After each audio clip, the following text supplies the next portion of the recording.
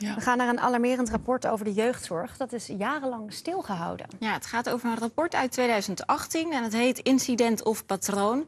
En in het rapport wordt geconcludeerd dat uh, jeugdzorg vaak of vaak een aantal of vergaande interventies doet op basis van foutieve of uh, onvolledige informatie. Uh, het zou jaarlijks gaan om honderden gezinnen mogelijk, waar bijvoorbeeld uit huisplaatsingen of onder toezichtstellingen worden gedaan.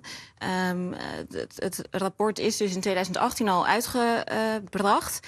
Maar daar is volgens de topambtenaar die het onderzoek heeft gedaan nog weinig mee gedaan. Uh, volgens hem omdat uh, de, overhang, de overheid voorrang geeft aan ingrijpen bij bedreigende gezinssituaties. En liever niet wil horen dat ze soms te ver gaat.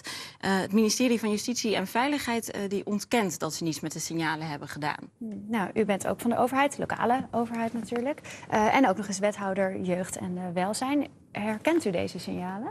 Ik herken deze signalen. En we vernemen natuurlijk ook meerdere uh, nieuwsberichten waarbij er zorgen zijn. Uh, en waarbij ook ouders, maar zelfs kinderen het gevoel hebben niet gehoord te zijn. Uh, dat moeten we serieus nemen. We hebben natuurlijk extra middelen gekregen voor de jeugdzorg. Hè, want we hebben structurele tekorten.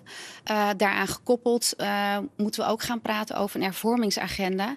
En ik denk dat deze signalen daarin echt moeten worden meegenomen. En als er dan wordt gezegd door die oud-topambtenaar... dit hebben wij drie jaar geleden al op een presenteerblaadje gegeven en er wordt niks mee gedaan?